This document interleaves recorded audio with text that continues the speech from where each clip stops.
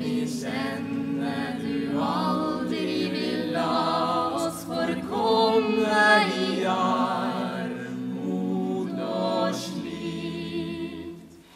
Vi levde med lua i handa, men hadde så sterk ei tru.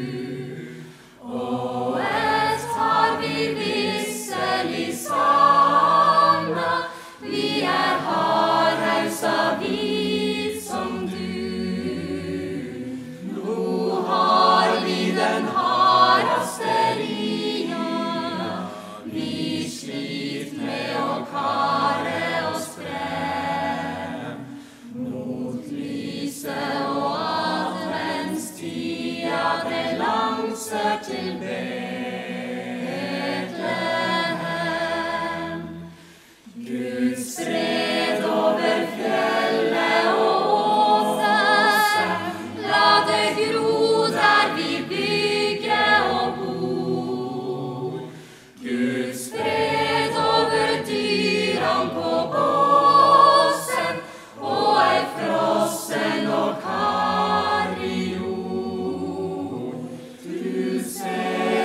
die mörkret is to